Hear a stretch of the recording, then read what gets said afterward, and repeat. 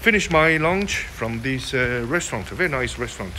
But the thing is, uh, this restaurant doesn't serve any coffee. So I need a coffee now. And uh, just use this as an excuse going to make another video because this place has an amazing place. I can go to have a coffee.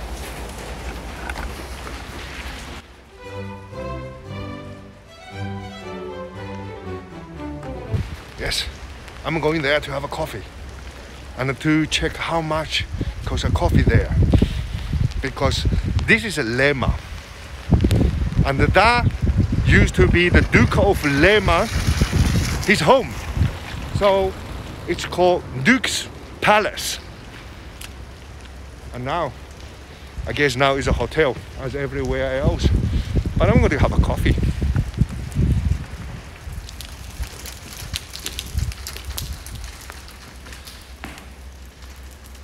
like Duke of Lerma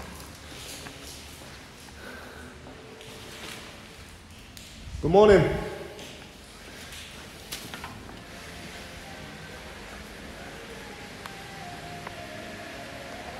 Look at that place.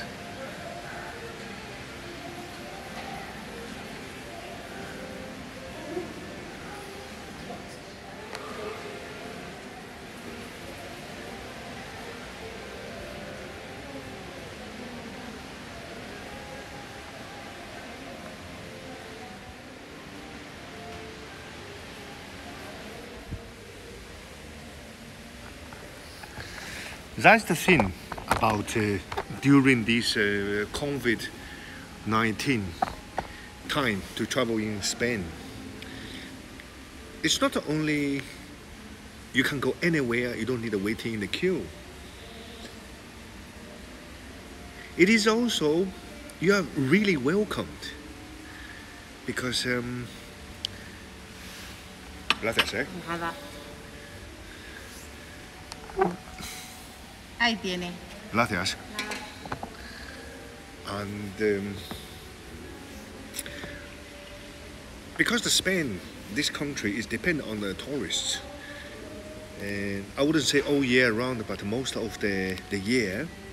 And now, because lack of uh, tourists, you can see this kind of a welcome you to their business.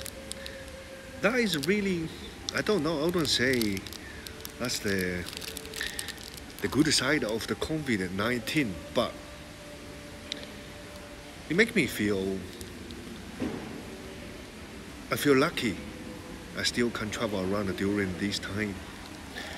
But anyway, just in this uh, great, a huge Duke's Palace.